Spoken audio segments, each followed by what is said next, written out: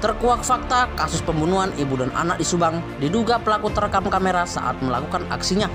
Namun sebelum lanjut mohon subscribe channel ini dulu agar kalian tidak ketinggalan informasi terupdate setiap hari. Bagi kalian yang sudah subscribe semoga banyak rezekinya dan sehat selalu. Oke mari kita lanjut.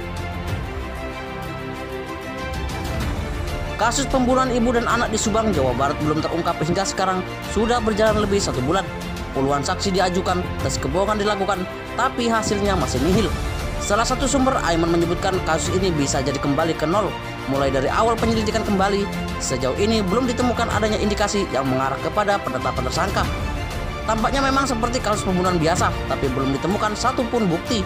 Tak ada sidik jari tertinggal, padahal kuat dugaan pelakunya tidak sendirian. Diduga butuh waktu 6 jam untuk menghabisi dua korban dan menyimpan mayatnya di bagasi mobil Alphard. Kejadian diperkirakan malam hari saat penghuni rumah sedang tidur. Pelaku bahkan sempat memandikan kedua jenazah, entah apa maksudnya. Tak ada satupun jejak terlihat. Jejak sinyal telepon seluler juga tidak terlihat. Bisa jadi pelaku paham betul bagaimana menghindari jejak yang bakal mengarah pada dirinya.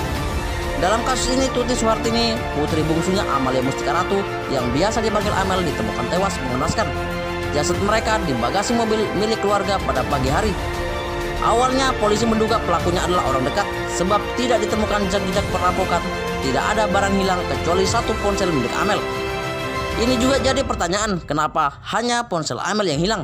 Apakah karena Amel sempat memergoki aksi para pelaku dan merekamnya? Entahlah. Bagaimana menurut kalian?